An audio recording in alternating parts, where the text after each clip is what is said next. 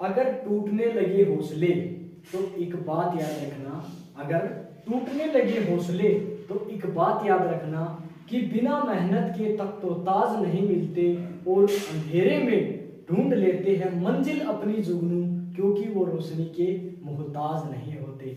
नमस्कार दोस्तों, आप सभी का आपके अपने YouTube चैनल के जी ग्रुप के अंदर हार्दिक स्वागत है। तो हम किस टॉपिक के ऊपर बात कर रहे थे? कंप्यूटर। पिछले वीडियो में हमने कंप्यूटर के भागों का जो वर्णन किया था और उसको अच्छी तरह समझ लिया था। अगर किसी दोस्त ने अगर वो वीडियो नहीं देखी है तो पीछे जा करके हमारे चैनल के अंदर वो वीडियो ज़रूर मिलेगी और उस वीडियो को देख करके इस वीडियो की ओर बढ़ेंगे तो अच्छा समझ में आएगा। ठीक है? और एक बात और, कुछ दोस्त कह रहे थे कि वॉइस थोड़ी अच्छी नहीं आ रही तो वही वॉइस को थोड़ा की बार सुधारा गया है। माइक थोड़ा दिक्कत कर रहा था, लेकिन अब बिल्कुल सही है। तो हम बढ़ते हैं अपने टॉपिक की ओर। आज क्या करने वाले हम? आज करने वाले हैं कि कंप्यूटर के घटक क्या है? कंप्यूटर के कंपोनेंट्स क्या है? तो ज़िक्र करेंगे हम। कंप्यूटर के घटक। ठीक है कंपोनेंट्स ऑफ़ कंप्यूटर कंप्यूटर के घटक क्या है? तो देखिए, कंप्यूटर के अंदर अगर मूल रूप से देखा जाए तो तीन घटक बताए गए कौन कौन से?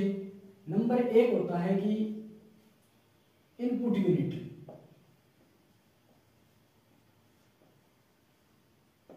अच्छा सेकंड नंबर क्या है? सेकंड नंबर है आउटपुट यूनिट आउटपुट यूनिट और थर्ड है सीपीयू अब क्या है कि हम यहाँ पर तीन करवा रहे हैं और कई आपको ऐसी किताबें मिलेंगी जिसमें चार मिलेंगे, किसी में पाँच मिलेंगे। लेकिन हमने जिस बेस के ऊपर किया है, उसके अंदर तीन है। और जो दो पार्ट्स या तीन पार्ट्स और दिखाए जाएँगे, वो सीपीयू के पार्ट्स दिखाए जाते हैं आपको। जैसे ए एल यू दिखाया जाएगा आपको एक आपको सीयू दिखाया जाएगा एक और एक आपको। मेमोरी दिखाया जाएगा। ये क्या है कि सीपीयू के ये पार्ट्स हैं। सीपीयू के अंदर ही ये भाग आते हैं। लेकिन कई किताब क्या दिखाती है? इसी के बना देते हैं चार पाँच और ये छह। छह पार्ट्स दिखा देते हैं। तो बस मेन बात है कि इनको पढ़ना। ठीक है? सीपीयू के पार्ट्स ही है। सीपीयू के अंदर ही होते हैं। तो देखिए कि इसके बारे में एक्सप्लेनेशन करेंगे तो अच्छी तरह आपको समझ में आ जाएगा। कोई दिक्कत नहीं है। वैसे बिल्कुल आसान टॉपिक है कंप्यूटर इसके बारे में आपको बिल्कुल भी परेशान होने की आवश्यकता नहीं है। देखिए, पहले है इनपुट यूनिट इनपुट यूनिट क्या होती है? इनपुट यूनिट वो होती है जिसके अंदर, जिसकी सहायता से हम अपने डेटा को कंप्यूटर के अंदर प्रविष्ट करवाते हैं या एंटर करवाते हैं। वे कौन कौन से हैं? एग्ज़ाम्पल एग्ज़ाम्पल कौन कौन से? देखिए कीबोर्ड माउस कीबोर्ड है माउस है। आपने सुना होगा लाइट पेन है। आपने सुना होगा जोइस्टिक ये जोइस्टिक क्या होता है? पता है आपको? देखिए, कई जगह लिखा होता है जोइस्टिक जोइस्टिक होता है आपका टीवी का रिमोट यस क्या होता है? रिमोट जोइस्टिक और एक होता है जैसे touch screen touch screen yes ये भी एक इनपुट यूनिट का उदाहरण है, ठीक है? ये वो यंत्र है जिसकी सहायता से हम अपना डेटा कंप्यूटर के अंदर प्रविष्ट करते हैं, ठीक है? ये होगी इनपुट यूनिट। अच्छा सेकंड क्या है? सेकंड है आउटपुट यूनिट ये आउटपुट यूनिट क्या है?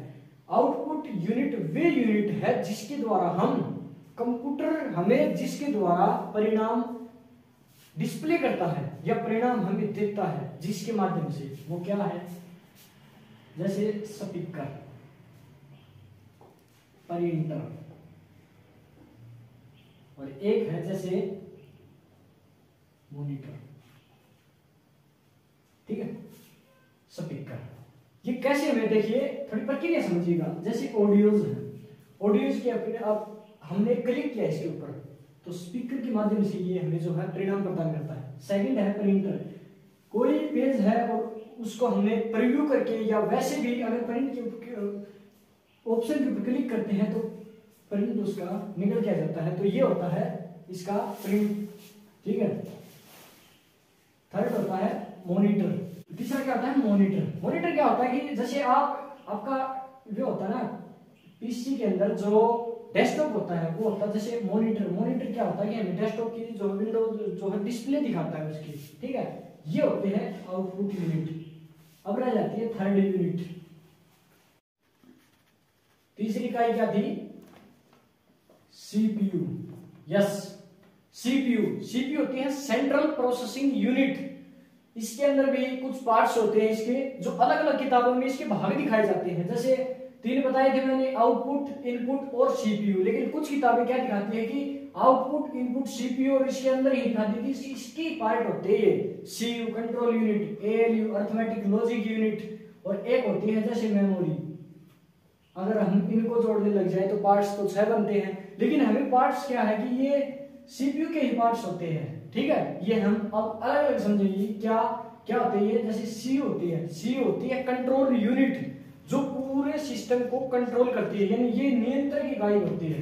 कंट्रोल यूनिट इसका काम है कि पूरी इकाई को नियंत्रण करना। ठीक है? सेकंड होती है अर्थमेटिक लॉजिक यूनिट ठीक है? एएलयू एएलयू कार्य होता है जितनी भी जोड़ घटा गुणा करनी हो अर्थमेटिक का जिसका जो काम हो, वो करती है एएलयू ये ये जो इकाई होती है, ये करती है एएलयू उसका काम है कि अर्थमेटिक लॉजिक यूनिट यानी कि जो जोड़ घटा गुणा जितने भी कार्य होते हैं, वो ये करती है, ये इकाई करती है। तीसरी मैन और मोस्ट इंपोर्टेंट इकाई है मेमोरी मेमोरी आपको पता ही है क्या होती है? संग्रहण, भंडारण स्टोरेज बहुत ज़्यादा नाम है इसके। आप सभी अलग अलग नाम लेते हैं इसका। कोई कहता है, मेरे फ़ोन की स्टोरेज इतनी है, मेरे पीसी की मेमोरी इतनी है। कोई कहता है, मेरे लैपटॉप की स्टोरेज इतनी है। तो अलग अलग अलग अलग नाम। तो स्टोरेज भंडारण और संग्रहण मेमोरी सब एक ही है। ठीक है? अब क्या होता है, इसके पार्ट्स मेमोरी इफ़ इसके पार्ट्स देखिए मेमोरी कितने प्रकार की होती है? वैसे तो होती है दो प्रकार की। प्राइमरी और एक होती है सेकेंडरी मेमोरी ठीक है? दो प्रकार की होती है। प्राइमरी में क्या होती है? होती है रैम कोई इसको राम बोलते हैं कि राम नहीं होता है रैम होती है, ठीक है? और एक होती है रोम रैम क्या होती है? रोम क्या होती है? इसका क्या कार्य है? देखिए रैम होती है रैंडम एक्सेस मेमोरी और ये होती है रीड ओनली मेमोरी ये इसके अंदर एक खास फ़र्क होता है कि ये जो है किस काम आती है और ये किस काम आती है देखिए, इसका जो काम है, इसका काम है कि जब हम कंप्यूटर को ऑन करते हैं तो उसके अंदर डेटा जो है इकट्ठा होना शुरू हो जाता है। और वो डेटा रैम के अंदर इकट्ठा होता है। जब हम कंप्यूटर को ऑफ़ कर देते हैं तो ऑफ़ करते ही जितना भी डेटा वो नष्ट हो जाता है। वो डेटा सेव नहीं होता। लेकिन जब हम किसी फ़ाइल को डाउनलोड करते हैं वो जिस फ़ाइल को सेव करते हैं तो वो रोम के अंदर जाती है। ये हमारी परमानेंट स्टोरेज है, ठीक है? ये हमारी परमानेंट स्टोरेज है रोम लेकिन ये रैम जो है कंप्यूटर के बंद करते ही इसका डेटा जो है, नष्ट हो जाता है। तो समझ में आ गई? क्या है मेमोरी मेमोरी की जो है, दो प्रकार की होती है primary memory secondary memory primary में ये दो आती है, और सेकेंडरी में क्या आता है? देखिए सेकेंडरी मेमोरी का प्रयोग तब करते हैं जब हम अपने कंप्यूटर की स्टोरेज बढ़ाना चाहते हैं, हमारा कंप्यूटर हैंग कर रहा है या कोई दिक्कत कर रहा है, जिसके अंदर, यानी कि हमारी स्टोरेज कम है कंप्यूटर की उसको बढ़ाने के लिए हम अदर जो टूल है, उसका प्रयोग करते हैं। उदाहरण के लिए जैसे हम कई डीवीडी का प्रयोग करते हैं, कई जैसे ज़्यादातर पेनड्राइव का यूज़ किया जाता है। पेन ड्राइव पेन ड्राइव यहाँ पे सेकेंडरी मेमोरी का उदाहरण है। तो पेनड्राइव का प्रयोग कब करते हैं? जब हमारी स्टोरेज कम हो, इसीलिए हम जैसे स्टोरेज कम होने के कारण पेनड्राइव का प्रयोग करते हैं या डीवीडी का प्रयोग करते हैं। तो वो क्या, कौन सी मेमोरी है? सेकेंडरी मेमोरी इसकी कोई आवश्यकता भी नहीं होती। आवश्यकता होती है तब ही हम इसका प्रयोग करते हैं। अन्यथा हमारी प्राइमरी मेमोरी ही काम आती है। तो इसी के साथ हमारे कंपोनेंट्स ऑफ़ कंप्यूटर चैप्टर जो है कंप्लीट होता है और इससे रिलेटेड जितने भी और वीडियोस बनेगी आप जो है हमारे चैनल के ऊपर आपको मिल जाएगी। तो इसी के साथ अब हमने इसके अंदर क्या कुछ अच्छा प्रदर्शन किया है या कोई कमी की है तो ये बात कमेंट के अंदर ज़रूर बताएँ, ताकि हम उस कमेंट को देखकर अगली वीडियो में और अच्छा सुधार करें, एक अच्छी वीडियो और डेवलप कर सके। इसी के साथ थैंक यू